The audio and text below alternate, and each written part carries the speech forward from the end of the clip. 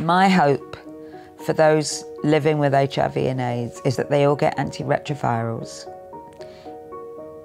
so they remain healthy, so they don't spread it, so they don't orphan their children. But my real hope is a cure. I, I want to see that breakthrough happen. But I don't want the lessons that we learned in the old days to ever be forgotten. The biggest misconception back then was and still is it'll never happen to me.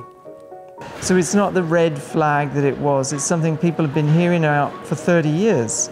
So it doesn't have the resonance that it, it once did when it was the new disease of the century.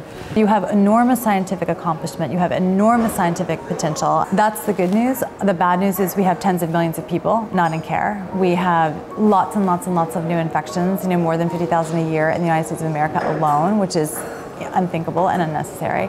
I think people think it's gone away. But here we are with still 34 million people HIV positive in the world. And here we are, you know, with this extraordinary opportunity where we can end it. I know we're getting closer. And I hear about it, I read about it, it's talked about, it's exciting. We're getting closer to a cure. It's a worldwide pandemic. So there's a lot of work to do.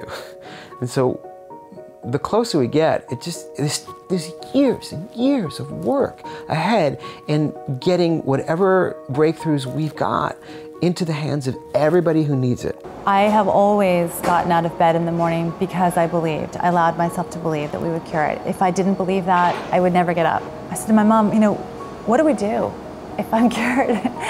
and uh, she said, you know, we move on to the next thing. Uh, we, we go help, help with another cause you know, help with another disease. Um, but it would be an incredible thing to live to live to that day and to sorry. My hope that those of us who are living with the virus might someday have it eliminated from our bodies, and my hope that someday no one, no one will be HIV positive.